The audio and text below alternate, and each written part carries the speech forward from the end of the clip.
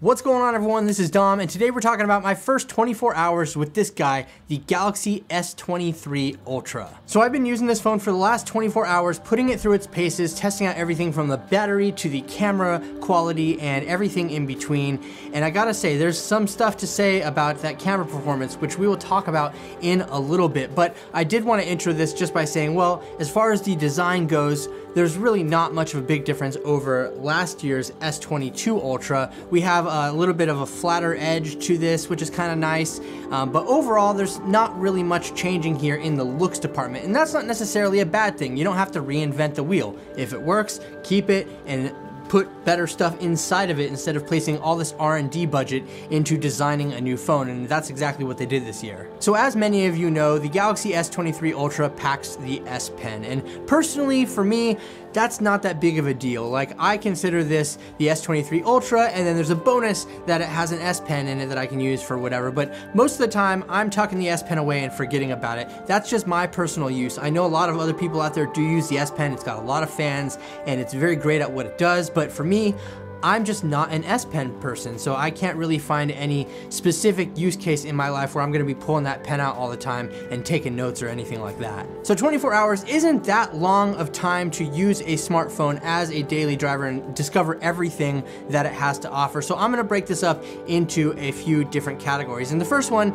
is performance. So inside we have the Snapdragon 8 Gen 2 for Galaxy, which is just a little bit of an overclocked version of that Snapdragon 8 Gen 2. And I gotta say, the, the phone is fast. Why wouldn't it be fast? It's 2023. We're talking about nice ultra flagship phones here, they're gonna be speedy. Obviously, a long-term review will let you know if the performance degrades over any period of time, but for the last 24 hours, it's been absolutely fantastic. One of the biggest upgrades here that Samsung sure spent like 20, 25 minutes talking about during their keynote is the camera performance. And I gotta say, I've noticed some big gains in that department, but is it worth you upgrading for these camera upgrades if you're on something like a Galaxy S22 or an S21? Probably not, because I think that all of these, uh, over the last few years anyway, are very good contenders in the camera department, but there's a lot special happening with the S23 Ultra, so let's go ahead and talk about that. Inside of here, for the main shooter, we have a 200 megapixel sensor. Yes,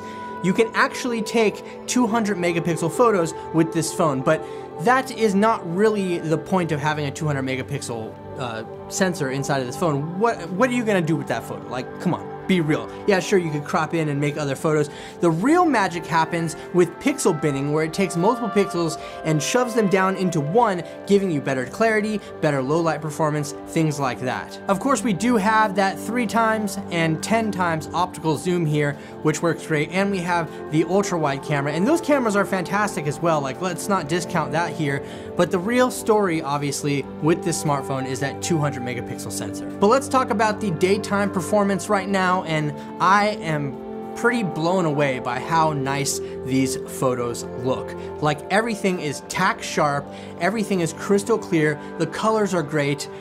Honestly, this right now is my top smartphone camera because it just looks that amazing. I've not had any trouble in the exposure department or anything with that has to do with the camera actually functionally performing as it should. It's just it looks really, really good. These photos look great, and I will put a full gallery linked in the description if you want to check them out for yourself, especially some of these high resolution photos. Like I said, you can take 200 megapixel photos on this phone, and you can zoom in quite a bit on them. But for me personally, I'm not going to be busting out my phone, switching it to 200 megapixels just to take a photo like that every time. I actually am a bigger fan of what's happening in just the regular shot mode with the pixel binning. Now with that larger 200 megapixel sensor, we do get better nighttime performance. Nightography, if you will, that's apparently a term now. So uh, taking photos in low light and dark situations with this phone is absolutely awesome. Like, I mean, the, the photos just look so good and it adds, a, they're, they're lightened up a lot by the sensor and with uh, some of the algorithms that Samsung is using in their computational photo, whatever you want to call it. it just, the photos look super clean, whether you're in the daytime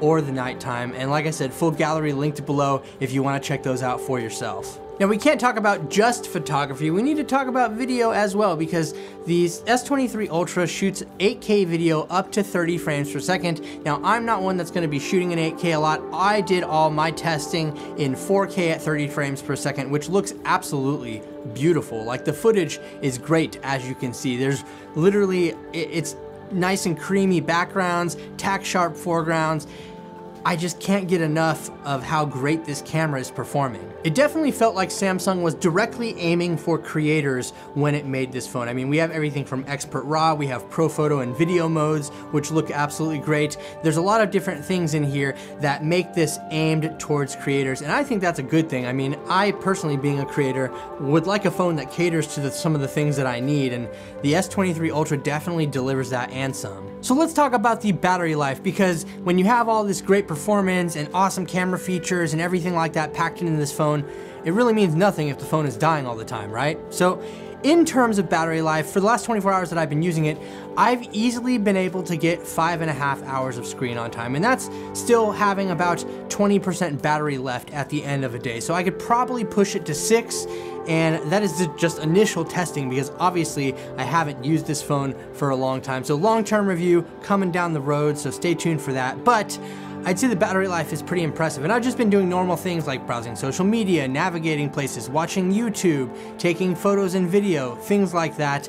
Uh, I use my phone a lot more than a regular person would, I would like to say, and so for me to get that kind of screen on time is actually pretty fantastic. I know a lot of people out there think that this phone isn't that big of an upgrade. It's just got uh, some camera features and stuff like that, and you know what? You're right, it's not that big of an upgrade, but it's a big upgrade for the people that Samsung was actually aiming for, like if you're on an S10 or even an S20, something like that. Previously, this is going to be a substantial upgrade for you, and I think that all in all, it's pretty fantastic, especially if you're coming from an older device. So as I said, this has just been my last 24 hours with the Samsung Galaxy S23 Ultra and so far, I'm a big fan. I would love to know your thoughts and opinions though down in the comment section below. And if you enjoyed this video, please hit the thumbs up button. If you're new around here to the channel, don't forget to subscribe and hit the notification bell so you can be notified when new videos like this drop in the future. Let me know all your thoughts and opinions down in those comment section below. Thank you so much for watching. I really do appreciate it. Once again, this is Dom and I will catch you in the next video.